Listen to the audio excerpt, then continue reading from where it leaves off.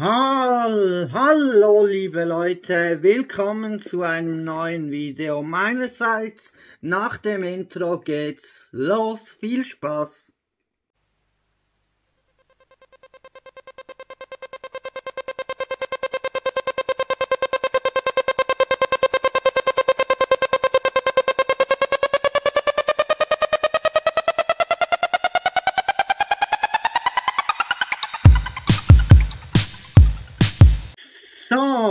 Liebe YouTuber, es wird langsam Zeit für ein Review zur Nintendo Switch OLED Edition.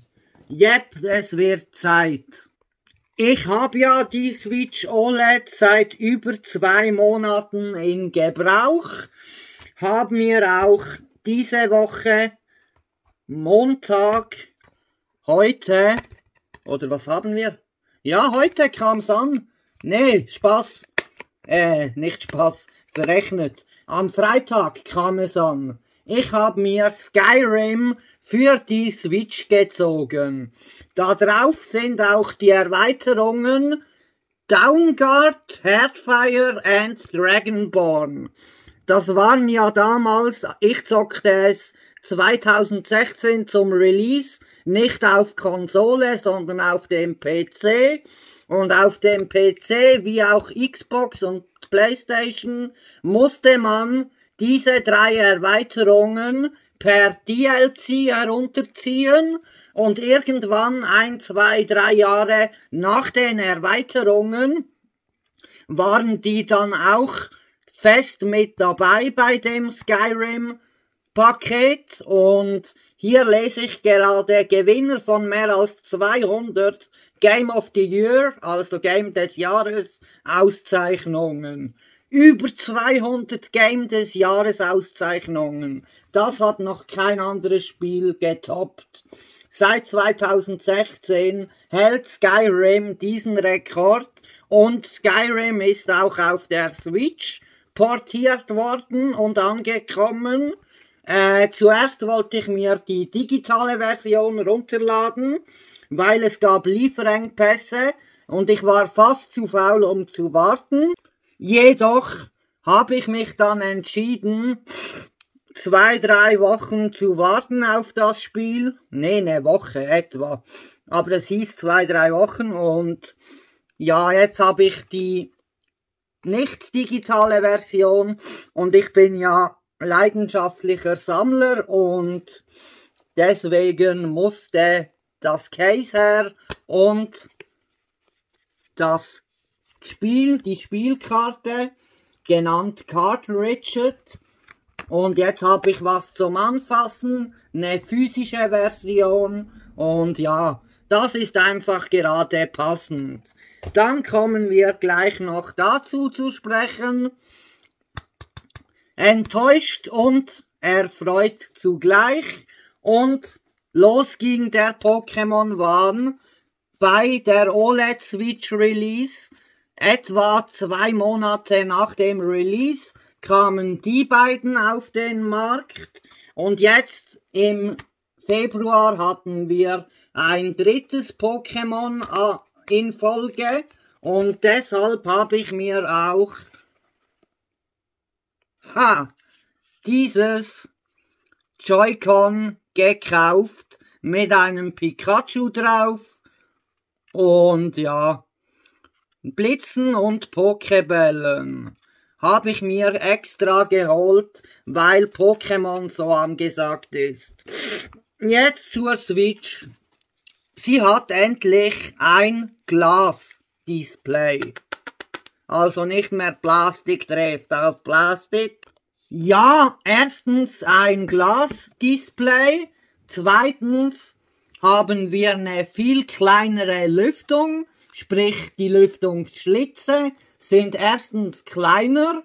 Zweitens ha, habe ich noch nie was von der Switch gehört.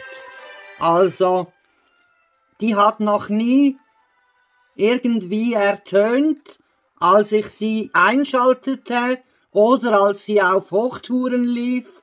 Nie Probleme gehabt, wirklich nie.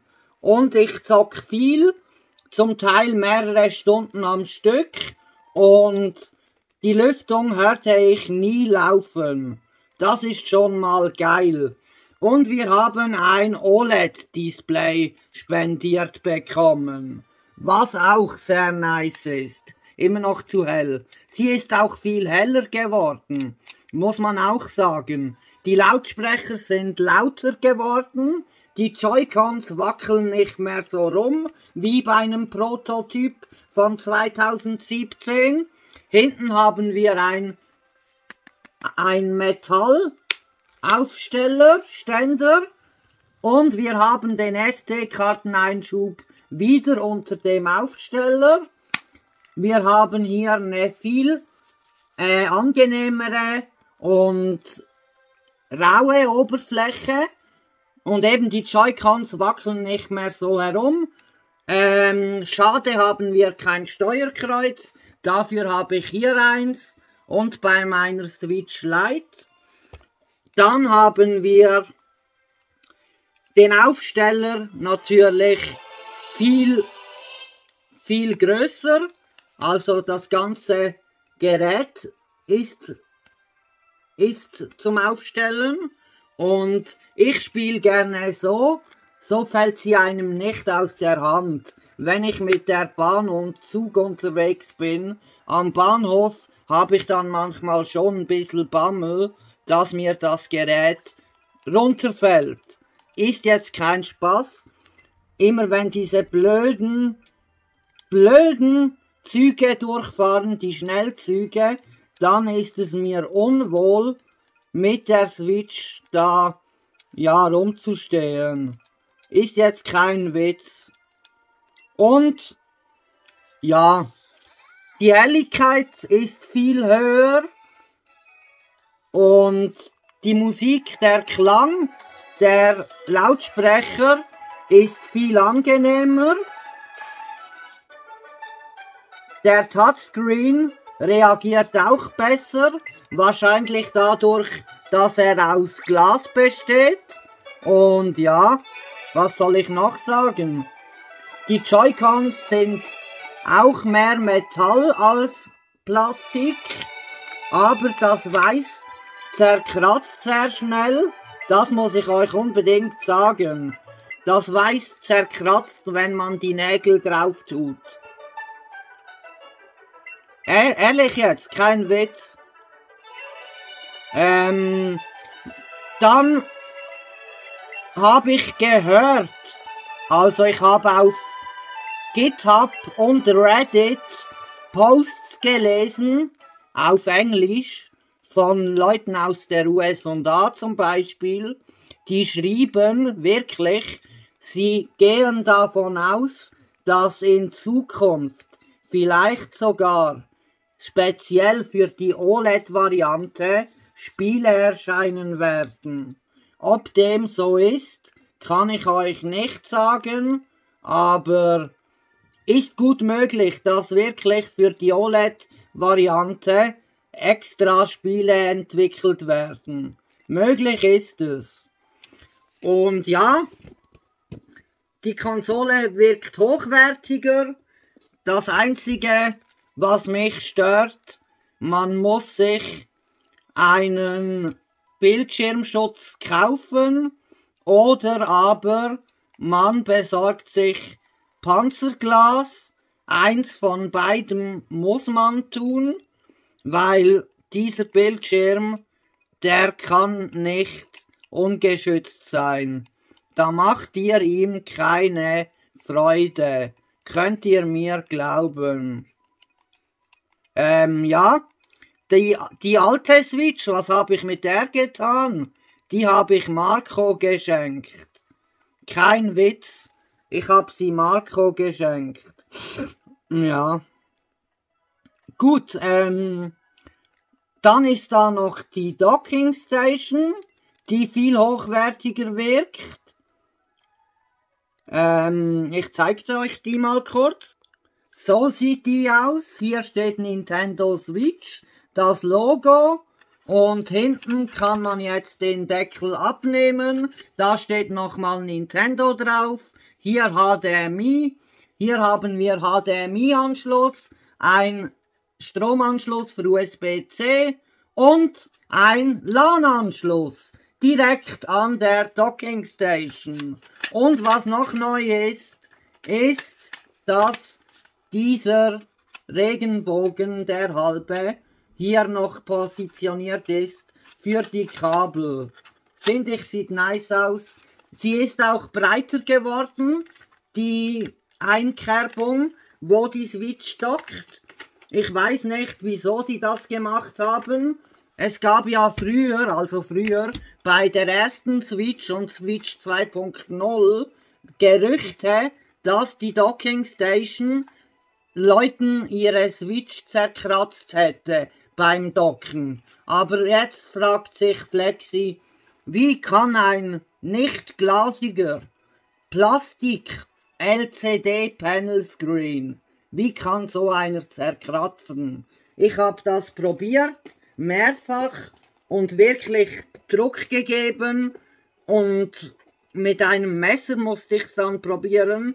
Das hat funktioniert aber ohne ein Messer bekommt man da keine Kratzer rein. Und dann war da noch dieses kleine Freundchen dabei. Und natürlich in weiß die, die, wie nennt man diese Dinger? Die Grinder. Ja. So, das war der Lieferumfang. Die Docking Station sieht auch viel moderner aus. Die Verpackung ist cooler gemacht, sieht moderner aus. Ja, die Switch Pro ist nicht erschienen, die viele so sehnlichst erwarten. Doch dafür eine OLED-Variante, was die Spiele viel schöner wirken lässt. Gut, in diesem Sinne, lasst einen Daumen nach oben da, wenn es euch gefallen hat und lasst zwei Daumen nach oben da, wenn's euch nicht gefallen hat. Bis zum nächsten Mal, macht's gut und vergesst nicht unbedingt, unbedingt ein Abo zu machen. Unbedingt müsst ihr ein Abo machen. Wenn ihr das vergesst, dann bin ich so enttäuscht. Bis zum nächsten Mal und tschüss.